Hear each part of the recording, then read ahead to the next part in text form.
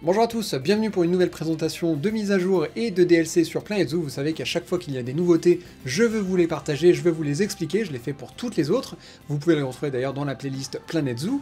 Et aujourd'hui, il y a le DLC aquatique avec la mise à jour 1.4, quelque chose qui a été très très attendu. Beaucoup de gens voulaient que les animaux marins utilisent réellement la profondeur de l'eau. Alors, il n'y a pas beaucoup, disons qu'il n'y a pas des animaux qui sont uniquement marins, ça je crois que c'est une déception de beaucoup, il n'y a pas de poissons, quoi que ce soit, mais peut-être qu'on commence à se diriger dans cette direction-là, puisque maintenant on a notamment les manchots qui vont pouvoir aller sous l'eau, on a les crocodiles, je vais vous montrer tout ça, donc ça c'est vraiment sympa, la mise à jour va donne pas mal de gameplay supplémentaire, et évidemment comme d'habitude le DLC est... Euh, focalisé sur les nouveaux animaux et sur les nouveaux éléments de décor. Avant de vous montrer tout ça en deux parties, vous avez le sommaire dans la description, euh, c'est bientôt Noël, et Frontier m'a contacté en disant qu'ils avaient envie de vous faire euh, très plaisir. Donc, je vous mets dans la description un petit concours qui va permettre à trois d'entre vous de remporter non seulement Planet Zoo, le jeu de base, qui en soi est déjà cool, mais tous les DLC avec. Donc voilà, il y a trois packs avec Planet Zoo plus tous les DLC à gagner. Je vous mets ça dans la description. Euh, je vous encourage vivement à participer. Euh, j'ai été super surpris quand ils m'ont proposé ça. Je trouvais ça excellent. Donc euh, voilà, à vos claviers, à vos souris. bonne chance à tous. J'espère que vous allez pouvoir rejoindre l'aventure parce que vraiment, moi j'en suis à j'en suis à 620 heures de jeu et euh, je m'éclate. Donc euh, j'espère que vous allez pouvoir me rejoindre et tout de suite, sans plus tarder, on se lance sur la présentation pour commencer de la mise à jour. Alors parlons de cette update 1.4 qui est gratuite pour tous les détenteurs de Planet Zoo. Vous avez ici dans le mode carrière les scénarios chronométrés qui ont été instaurés, qui ont été présentés avec le DLC sur l'Australie. Et vous avez ici Parc Kofaga qui va vous donner un nouveau scénario euh, qu'il faut compléter en une heure si vous voulez obtenir l'étoile d'or. Et comme d'habitude, vous pouvez voir que j'ai tout étalé sur la carte comme ça, mais vous allez devoir attendre globalement la partie sur le DLC pour parler de ça, parce que comme souvent, les mises à jour, c'est surtout du gameplay, et la première chose dont j'ai envie de parler, alors j'espère qu'il n'y aura pas trop de lag, j'ai pris une ancienne save de ma série, euh, parce que ça, ça lag vraiment trop maintenant, mais, euh, mais bon, ça va un petit peu mieux on a cette chose qui est du coup une nouveauté. C'est le régulateur de température de l'eau. Donc on avait depuis quelques temps les régulateurs de température pour euh, des habitats, vous pouvez voir ici. Donc dans Habitat, vous avez chauffage ou ventilateur si jamais euh, des animaux n'aimaient pas la température. Si euh, ils n'aiment pas la température de l'eau, parce que par exemple c'est trop chaud, vous avez également ici dans les utilitaires avec traitement de l'eau, etc., vous avez le régulateur de température. Alors pour ça, vous allez avoir non seulement sa portée que vous allez pouvoir mettre, que vous pouvez voir par exemple dans régulateur de température de l'eau, c'est un nouvel overlay. Hop, vous avez du coup la portée que vous pouvez réduire. Là, actuellement, elle est à 60. Je peux la mettre beaucoup plus petite si, je veux. Si je veux, par exemple, ne pas toucher cet habitat-là, je peux réduire un petit peu. Et vous pouvez bien sûr changer la température en elle-même. Vous ne pouvez pas aller en dessous de 0 degré. Là, actuellement, j'ai des manchots juste à côté. Donc, je l'ai mis à 2 degrés. Ça me semble pas mal. Donc, ça, c'est vraiment bien pour des... Bah, en fait, pour tous les animaux euh, comme celui-ci, qui, euh, comme ceci, qui veulent avoir de l'eau froide, globalement. Quelque chose d'autre que vous allez avoir concernant l'eau, c'est que si je descends ici, hop, alors, deux choses en fait. La première, c'est que vous pouvez voir que ces loutres ici, qu'on va présenter euh, dans la partie DLC, hein, blablabla, sont en train de nager. Et ça, c'est absolument excellent. Donc c'est quelque chose qui, pour l'instant, euh, les seuls animaux qui sont concernés sont les quatre du DLC et le crocodile marin. Euh, donc pour l'instant, aucun autre animal ne peut, ne peut aller sous l'eau, mais ils ont bien prévu que ça viendrait euh, à d'autres. Donc voilà, première chose, ils peuvent aller sous l'eau. Je vous en reparlerai un petit peu plus, mais il leur faut euh, minimum 4 mètres de profondeur. en vrai, ça je peux vous le montrer un petit peu, hop, ici. Vous voyez, dans le terrain, eux par exemple, ils veulent même carrément 299 mètres carrés non, ils veulent 180 mètres carrés, pardon, de, de profondeur en dessous euh, de 4 mètres. C'est-à-dire que si euh, je leur mets euh, beaucoup d'eau, mais qu'il n'y a rien en dessous de 4 mètres, ils seront contents pour la zone aquatique empruntable, mais pas pour l'eau navigable. Voilà, donc grosse différence, ça c'est vraiment sympa. Et l'autre chose que vous pouvez voir sous l'eau, c'est ceci. Il y a une nouvelle mangeoire, vous avez toutes celles que bien sûr vous pouvez coller à la surface, et maintenant vous avez cette mangeoire ici, euh, qui va être, euh, qui marche comme toutes les autres. Vous avez exactement la même interface que les autres, et ça vous dit si ou, euh, oui ou non c'est adapté à, à l'espèce. Donc par exemple, si je mets ça dans l'enclos des hippopotames qui eux ne peuvent pas nager sous l'eau, ça ne marchera pas.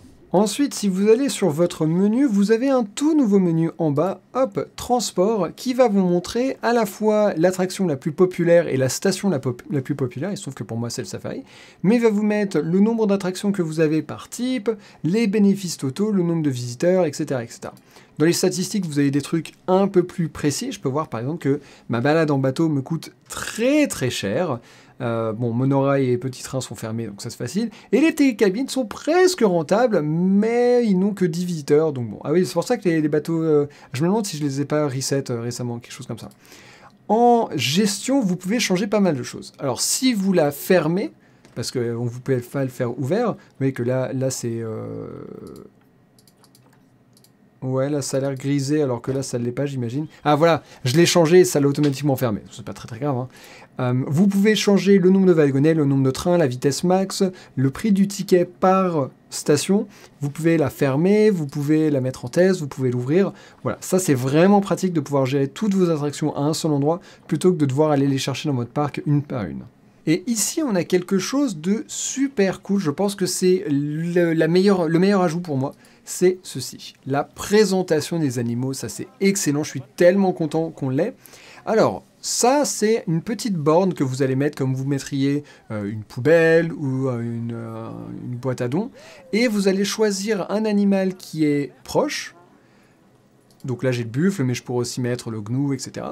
Et définir des mots de présentation, etc. Et du coup, on va avoir des, des présentations, tout simplement. Donc il y a un nouvel employé on va voir s'il y en a un peut-être qui va venir parce que j'ai une présentation quand même à faire les gars.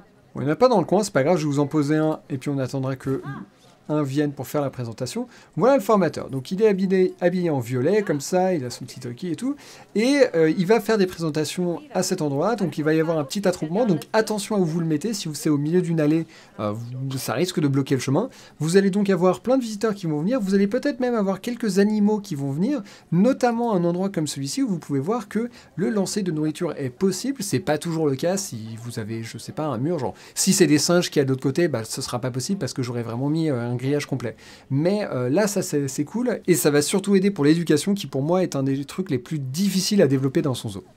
Et regardez, donc je l'ai programmé pour mai, ça a fait un petit bruit quand c'était un mois avant, un bruit d'animaux et, euh, et, tout.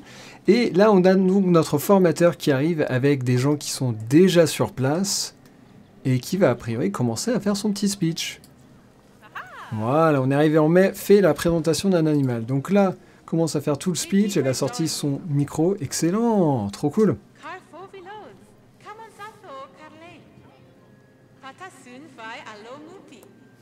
Voilà, je vais pas tout vous montrer, je vais vous laisser découvrir ça par vous-même, mais je trouve ça excellent. On va pouvoir nourrir les animaux et tout. D'ailleurs, est-ce qu'il y a des animaux qui sont venus voir? Euh, C'est pas clair. Il y en a qui se baladent dans le coin, mais je suis pas sûr que ce soit lié à ça. En tout cas, euh, vraiment, vraiment, ça euh, c'est une des meilleures éditions qu'ils auraient pu faire. Ça ressemble un petit peu à la mascotte qu'il y avait dans Planet euh, Coaster, mais implémentée de façon tellement meilleure, vu que c'est juste attaché à ça, que les gens s'arrêtent pour venir voir en avance et tout, avant l'arrivée. vraiment, non, ça c'est une excellente fonctionnalité. Et du coup, dans l'onglet éducation du menu général, vous avez présentation et vous allez pouvoir voir voilà, tous les prochains. En fait, visiblement, vous pouvez en faire un par, un par an.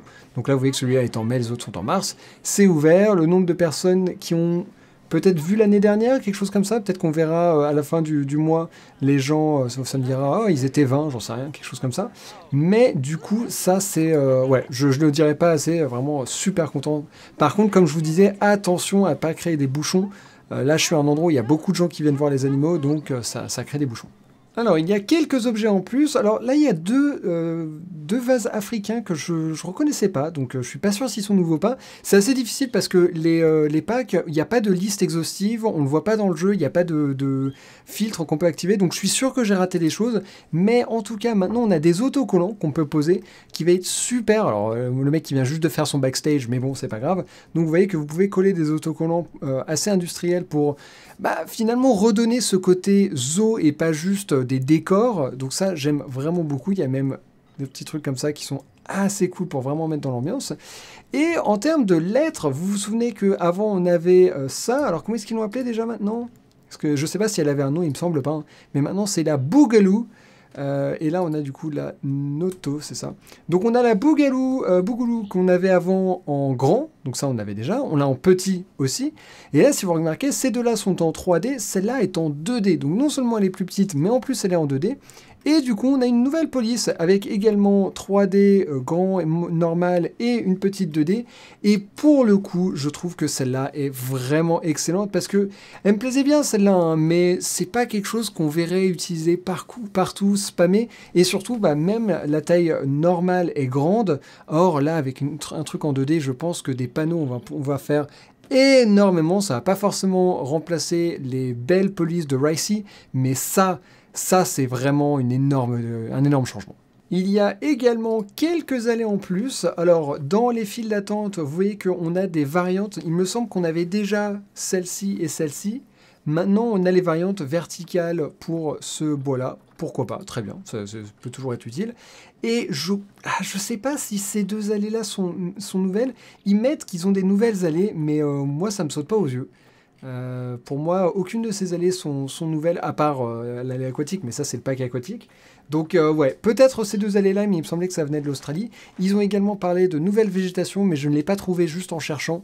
Donc voilà, il faudra explorer un petit peu, mais apparemment on a quelques éléments un petit peu nouveaux, donc ça c'est toujours, c'est toujours appréciable. Quoique j'aurais tendance à dire que c'est ça, c'est tout... Là on a des algues, ça c'est clairement des choses qui, qui me paraissent nouvelles, qui sont du coup dans la section aquatique.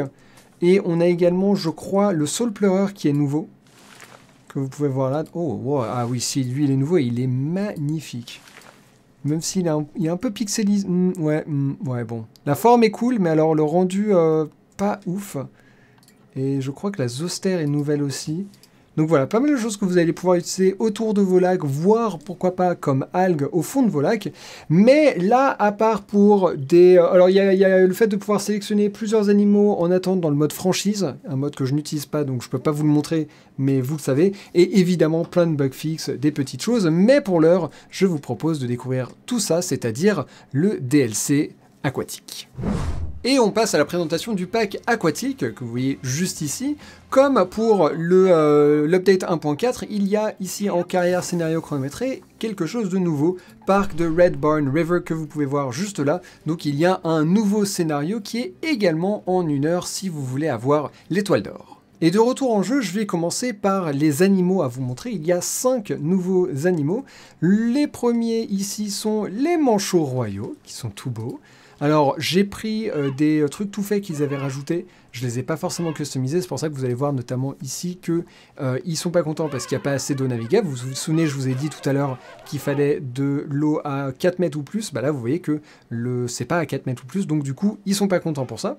en plus, ils sont beaucoup. Hein. Ils peuvent être jusqu'à 500. Hein. Vous allez démonter votre zoo si vous en mettez 500, mais ils peuvent être jusqu'à 500 dans un enclos. Au-delà de ça, vous voyez qu'en termes d'environnement, ils veulent de l'aquatique, de la toundra, euh, par contre, vous avez le choix en termes de continent, donc ça c'est cool. Et, euh, en termes d'optimisation, j'ai mis celui-ci qui est nouveau, qui est assez fun. Euh, et ça va leur permettre de, sauter dedans et tout. Mais voilà. Donc premier, c'est le manchot. J'ai hâte de mettre des manchots. Je pense que ça peut être vraiment, vraiment fun. Juste là, vous avez la loutre géante. Hop, on va la regarder. Donc on a aperçu euh, tout à l'heure aussi. Donc pareil, ça c'est un enclos euh, préfet. Elle par contre, elle a ses 4 euh, mètres de profondeur, donc elle est contente. Donc voilà, là on a la loutre géante qui est assez sympa, qui a besoin de pas mal de place. On, je sais plus combien on peut en mettre, mais dans la zoopédie on verra. Il me semble que j'ai envie de dire genre 14 maximum en tout. Voilà un petit peu les, infos si ça vous dit, même si je vous conseille plutôt des sites comme, c'est quoi, c'est Planet Zoopedia, Tapez ça sur Google, vous allez avoir des tableaux entiers de stats avec tous les animaux du jeu. Donc ça c'est vraiment cool. Donc l'outre géante que je trouve excellent. Ça c'est plutôt euh, Amérique du Sud il me semble, hein, si je me trompe pas. Euh, ouais, Amérique du Sud, donc ça, euh, je vais tâcher de la caser. Tiens, si on continue deux secondes sur l'Amérique du Sud, on a ici les caïmans qui... Ah, on en va juste là. Hop Voilà, on a nos petits caïmans nains ici, avec... Ah, eux, Tiens, ils ont pas de préférence pour la nage sous-marine. C'est marrant parce qu'ils nagent sous l'eau pourtant. Bah visiblement, euh, en avoir peu ou... S'ils en ont, c'est cool. S'ils en ont pas, c'est pas grave. Ok, good to know. Et là, vous voyez que pourtant, ça c'est adapté, donc ça montre bien que, qu'ils vont sous l'eau. Mais, mais bon, vous avez du coup les caimanins. Vous pouvez en mettre, je crois qu'on peut en mettre que deux les caimanins, il n'y en a pas beaucoup. Environnement Amérique du Sud aussi. Et voilà, et juste à côté, hop, vous avez les phoques. Alors, voyons voir. Oh, ils sont tous restés derrière. Ah ouais, alors vraiment, ils sont pas du tout contents dans cet enclos-là. Eux, vous voyez qu'ils ont vraiment besoin d'eau navigable. Moi, je les ai juste stockés là pour vous les montrer, pas forcément pour les rendre heureux. Ça, je le ferai dans mon vrai zoo. Hop, environnement Europe, Amérique du Nord, et vous avez pas mal de choix, donc vous allez pouvoir faire des trucs vraiment sympas. Et, euh, et voilà, donc petit phoque gris, enfin petit, il est assez énorme, mais, euh, ça c'est vraiment cool comme espèce. Et on a également euh, une nouvelle espèce pour les vivariums qui est juste là, c'est les petites tortues, les tortues diamants. Et vous voyez que contrairement aux autres vivariums, il y a de l'eau qui prend la, euh, majorité. Et voyons voir, on en voit plein de petites ici, qui sont toutes mignonnes. Et là, euh, bah, il suffit, voilà, on met l'installation, en climat, on s'occupe un petit peu d'eux, et c'est assez nickel. Grosse déception, c'est que dans le jeu, on n'a toujours pas des plus grands vivariums que juste 4 mètres sur 4 mètres. Je pense que ce serait vraiment vraiment cool d'en avoir des, bien plus grands. De, euh, bah vous voyez, là ils en ont assemblé 4 euh, euh, pour qu'on ça donne l'impression d'en avoir 4. C'est vrai que j'aurais pu en mettre genre 3 ici, 3 là, pour donner l'impression, je l'ai déjà fait ailleurs. Mais c'est quand même bête de pas juste avoir un grand vivarium. Et du coup, on peut déjà passer à tous les ajouts qu'il y a en termes de, pièces pour construire. Et il y en a énormément. C'est vraiment, à chaque fois, vraiment, je me fais plaisir. Alors, la première chose qu'on va regarder, c'est les, parties de mur. Donc, comme d'habitude, on a un set complet. Ça, c'est extrêmement appréciable. Vous savez à quel point c'était frustrant au début quand il manquait une arche par-ci, une arche par-là. Là, vraiment, ils ont le set complet de euh, ceci qu'ils appellent la devanture en bois lasuré vraiment cool. C'est original, on peut, changer la couleur, hein, comme vous pouvez voir. Donc euh, c'est vrai que le violet est un peu particulier, mais si je veux par exemple le mettre en vert, c'est tout à fait possible. C'est très joli, euh, c'est assez différent de ce qu'on a, et en plus on a les nouvelles pièces qui ne sont pas soumises à la grille comme juste là, qui sont incroyablement utiles. Là, on a du coup pareil pour les parties plates et vous avez toutes les différentes pièces de toit comme ça qui sont très jolies. Vous pouvez également changer les couleurs, donc vous pouvez faire toutes les ardoises des couleurs que vous voulez, euh, faire un, petit pattern. Vraiment, vraiment super. on voit qu'ils écoutent la communauté de plus en plus, je trouve. Au début, ils avaient l'air d'être vraiment un petit peu coincés sur leur vision du jeu. Et j'ai l'impression que c'est de moins en moins le cas. Donc ça, ça fait plaisir. Ensuite, là, on a... Euh, alors ça, c'est... Des panneaux, voilà, on a deux, petits panneaux avec des... Euh, j'ai l'impression que c'est... Là, on a une loutre, là, on a un phoque, là, on a un manchot par ici. Et ça, c'est en fait un auvent de boutique que je trouve assez joli. Ça, c'est très sympa. Euh, là, on a d'autres petits euh, cadres pour des boutiques et tout, très sympa. Et là, on a un truc qui est vraiment, vraiment super. C'est une devanture. Donc, par exemple, moi, je me vois carrément utiliser ça dans un aquarium ou quelque chose comme ça, où on, peut mettre un fond à certains endroits. Euh, un peu comme il y a dans les vivariums où vous savez qu'on peut mettre un fond, et ben ce serait un truc un petit peu similaire à ça. Donc, vous avez celui pour la, jungle au-dessus. Et vous avez celui pour le, fresque glacé, comme il l'appelle, voilà, fresque rivière.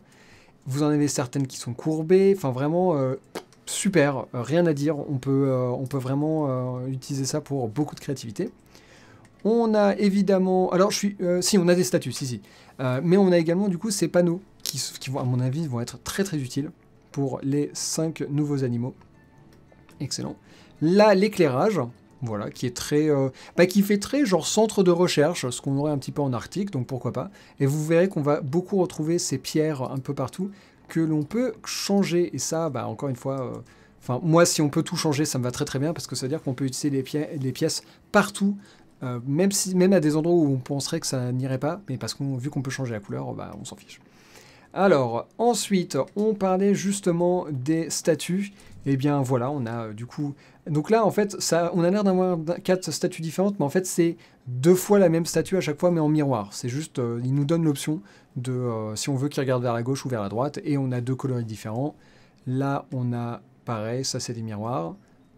Eux, ils sont tout mignons. On en a trois versions, eux. Eux, ils sont en train de jouer. Les manchots ici. Et on a visiblement rien. Ah si, les phoques sont là. Les phoques sont ici, c'est juste qu'avant, on a d'autres manchots juste là. Ça, franchement, genre une entrée d'aquarium, ce serait très très très stylé. Et alors ça, mais euh, bah, du coup je suis dégoûté parce que j'ai fait beaucoup de, de, trucs comme ça qui auraient pu l'utiliser, mais c'est pas grave, je, je le rétrofiterai, n'est-ce pas? Mais on a ces falaises. Alors on a des falaises qui font 4 sur 4, on a 4 sur 8, et là on a 8 sur 4. Donc vraiment beaucoup de possibilités différentes pour, euh, pour ces falaises-là. C'est vraiment vraiment cool. Encore une fois, j'imagine ça tellement utile pour un aquarium qui est clairement artificiel. Euh, plutôt que juste, euh, moi ce que j'ai beaucoup fait, c'est par exemple, si on regarde, je sais pas, qu'est-ce que j'ai, cette chute d'eau là par exemple, ça marcherait pas parce que c'est clairement censé être une vraie chute d'eau. Mais à l'intérieur d'un bâtiment, ça peut être très très sympa. Ensuite, en barrière, vous voyez qu'on a ceux-là. Alors, c'est assez sympa la façon dont ils l'ont fait, c'est qu'ils ont mis en fait des modules de barrière pour faire différentes euh, courbes. Et après, ils ont mis la fin. Et je trouve que c'est une excellente idée parce que ça veut dire qu'on peut moduler notre barrière comme on veut, faire utiliser tous les éléments qu'on veut. Et une fois qu'on a fini, poup, on met le poteau et on est content. Donc ça, c'est vraiment, vraiment cool. Euh, encore une fois, euh, alors après, moi, moi, je passe beaucoup de temps à faire les, scènes et tout. Donc moi, c'est super. Est-ce que les gens qui veulent juste jouer avec les animaux, ça va leur plaire? Je sais pas, mais euh, bon, pire, le, le, workshop est tellement plein d'habitats déjà faits que bon. Là, on a plein de... C'est des faux rochers, on dirait un petit peu des racines. Donc voilà, vous avez un énorme tronc et des bouts de racines. Vous allez voir un petit peu plus tard qu'ils en ont fait un arbre, donc je vais pouvoir vous montrer à quoi ça ressemble. Et ça, mais alors, ça arrive un tout petit peu trop tard. Je me suis, j'ai fait plusieurs arbres, enfin murs végétaux récemment, mais c'est pas grave. Je peux également le remplacer. Mais alors ça, ça c'est excellent. Toutes les fois où je disais ah je peux pas mettre de toit végétal par exemple parce qu'on va le voir d'en dessous, eh bien ce n'est plus vrai parce que maintenant on a ces pièces là et c'est une, c'est un ajout incroyable. Euh, on a ensuite, on va regarder un petit peu tout ce qui est végétation par ici. je vais mettre le jeu en pause. C'est vrai que ça lag beaucoup, hein, mais bon, c'est le risque euh, quand on fait un, zoo aussi grand que le mien. Alors, on a certaines choses que vous retrouvez, hein, on vient juste de regarder ça. On a aussi quelques nouvelles euh, formes de végétation qui sont plutôt sympas. Voilà, une grosse plante et tout, quelques, quelques jacinthes. Euh, dans les autres végétations, on a la, euh, l'arum titan qu'on retrouve. On a ça qui va être excellent. Alors ça, c'est censé être sous-marin, mais moi, je me vois vraiment ne pas seulement l'utiliser sous-marin, euh, sous l'eau, mais juste pour habiller un petit peu une zone. Et là, regardez un petit peu toutes les différentes plantes qu'on a. Comme d'habitude, on a trois tailles à chaque fois. Donc ça, c'est excellent. Celui-là, la rhubarbe géante, elle est vraiment, vraiment sympa. Je, me vois bien l'utiliser. Celle-là aussi est très jolie pour, l'Asie. On a, alors on n'a pas de nouveau set de euh, pierres complets, ce qui n'est pas forcément grave parce que je vous rappelle qu'on avait déjà le set glacé et le set de neige, mais on a du coup le faux rocher et comme le faux rocher de la lampe tout à l'heure, on peut changer la couleur. Donc là, on peut très bien imaginer voilà, un truc euh, psychédélique, si vous voulez faire un truc un peu genre sur Mars, j'en sais rien. Vous pouvez faire les creux en bleu foncé et le reste en bleu clair, par exemple. C'est tout à fait possible et euh, ça donne des, trucs vraiment excellents. Euh, ouais, donc ça, je le vois bien être utilisé encore une fois pour un aquarium, pour quelque chose qui est clairement artificiel et c'est tout à fait assumé. Euh, ensuite, je vais vous montrer un petit peu tous les trucs. Ah non, disons, dernière chose, dernière chose ici, on a une nouvelle barrière, une nouvelle clôture juste ici, qui est le verre épais. Très très sympa, c'est celui-ci. Et ça s'accompagne également d'un sas sur verre et d'une entrée, ah oui, que j'ai oublié de poser. Hop, juste là. Et euh, j'aime beaucoup. Encore une fois, euh, pour un truc euh, en intérieur, vraiment ça, ça va être tellement cool. je me demande même si ça, je vais pas rétroactivement le mettre à certains endroits du, zoo, parce que ça rend, ça rend si bien. Et du coup, tout ça, c'est, vous savez, des éléments qu'ils font un petit peu en avance, c'est tout simplement des, plans. Et vous avez par exemple là des manchots, ici vous avez... oh cool J'avais pas pensé à mettre les trois loutres les uns sur les autres. Là, vous avez plein de trucs pour des boutiques, pour des petites plantes, etc. Le, oh, ça c'est une excellente utilisation justement des, euh, des nouvelles chutes d'eau qu'on avait, qu'on vues. Ça c'est typiquement le genre de truc que je pourrais poser tel quel dans mon zoo. Et de manière générale, je trouve que les plans préfets de euh, Frontier sont de mieux en mieux, vraiment de plus en plus travaillés. Donc un, grand bravo à eux. Vous voyez, même ça, ça c'est euh, un truc artificiel fait de, 15 objets différents avec ce que je vous avais montré, hein, tous les différents éléments. Donc ça paraissait pas vraiment évident quand on le regardait, mais en fait, vraiment cool. Là, on a une arche et là, on a un éclairage. Voilà, ça, c'est un lampadaire en bois, mais encore une fois, ça c'est quelque chose qui a, été créé, c'est pas dans le jeu, c'est euh, utilise 46 pièces. Ensuite, on a quelques styles architecturaux différents. Là, on a plutôt la partie arctique, genre euh, Canada, quelque chose comme ça, qu'on va utiliser ici avec plein de bâtiments. Là, on a un pont qui est très joli, une grange, voilà. Là, on a plein de rochers, des éléments comme ça. Et là, on a tous les bâtiments de ce style-là qui sont très sympas, avec des toilettes, avec là tous les différents bâtiments pour le personnel. J'aime beaucoup ce style, il est très réussi. Je vais pas forcément les copier-coller, mais euh, je vais vraiment m'en inspirer pour euh, certaines zones du, zoo parce que j'aime beaucoup. Et là, on revient du coup sur la partie plutôt euh, Canada, que je trouve assez jolie. encore une fois, on voit le, tout le, bois peint. Et ça, c'est un élément incroyable qui a été fait du coup en abri pour manchot. Et on voit à quel point on peut utiliser. Du coup, ça, c'est une des nouvelles pièces que je vous ai montré en termes de, de, roche. Vous voyez le faux rocher qui fait des petits, euh, des petits escaliers. Donc ça, vraiment excellent. Ensuite, on a un abri, un petit abri, un grand abri et un abri euh, très très quelconque, mais bon, pourquoi pas. Euh, ensuite, pour terminer, on a re le même. J'avais dû vous le mettre ici pour vous montrer comment il était dans l'eau. Et on a ces trucs-là qui sont particuliers. Donc ça, c'est quelque chose qui a été construit pareil. En fait, ils ont ces plateformes de couchage euh, vous avez aussi euh, des, éléments sur le côté que vous pouvez mettre. Le panneau latéral, vous avez euh, ces panneaux-là verticaux. voilà, pourquoi pas. C'est original comme, comme façon de faire, mais ça marche plutôt bien. Et voilà à peu près tout ce qu'on a. La dernière chose à vous montrer, ça va être ces allées-là. Faites pas gaffe, hein, bien sûr, à l'organisation. À chaque fois, je le case un peu où je peux. Et je le mets toujours dans une certaine direction pour vous profitiez de, du soleil. Donc voilà, on a cette allée-là qui est très particulière. Mais encore une fois, en intérieur, ça peut très bien marcher. On a le nouveau set de bancs que je trouve très joli. Évidemment, on peut le recolorer comme le reste, donc pas de panique. La poubelle, très jolie en soi, pourquoi pas. Euh, là, on a différents types, tailles de vivarium qui sont préfaits et qui sont excellents. Alors ça, franchement, un grand bravo, parce que tout ça, c'est plein de petits rochers qui sont posés. Euh, ça rend super bien. Donc encore une fois, euh, le niveau des trucs préfaits de Frontier a tellement augmenté. Et pour finir, on a du coup la table ici de pique-nique avec l'ombrelle au-dessus. Donc voilà. Ah oui, et bien sûr, ces deux-là, c'est des habitats qui sont préfaits et qui viennent avec le pack, que vous allez pouvoir plopper si vous n'avez pas envie de faire votre propre habitat.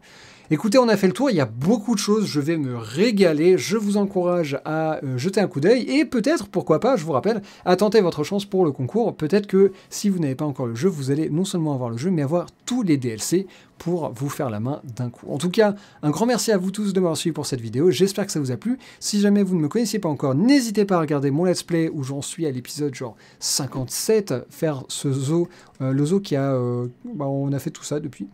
donc voilà. Merci à tous d'avoir suivi. À très bientôt. Bye bye.